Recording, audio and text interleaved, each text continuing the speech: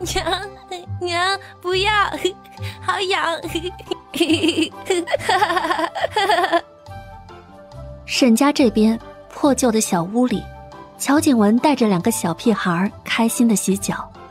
沈之书毕竟只有四岁，洗脚方面没那么利索。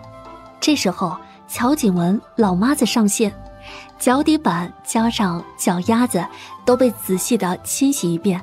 可就是这样，小家伙已经痒得受不了，屋里都是他的笑声。就是平时爱板着一张脸的沈渊，这会儿脸色都有点微微缓和。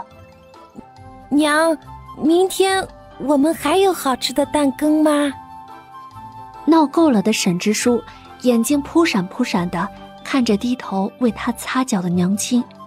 自从那天开始，他们的娘亲就好像变了一个人一样，没有再打过他们，还每天想办法做好吃的。这样的生活实在太幸福了。你个小馋猫，今天的鸡蛋羹还没吃过瘾啊？你们以后只要乖乖的。每天都有好吃的，娘亲啊，要把你们喂得饱饱的、胖乎乎的。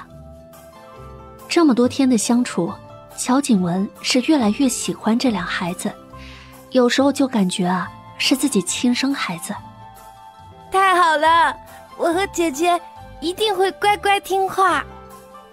听到有好吃的，就连沈之礼都笑眯眯的，嘴角也有可疑的水渍。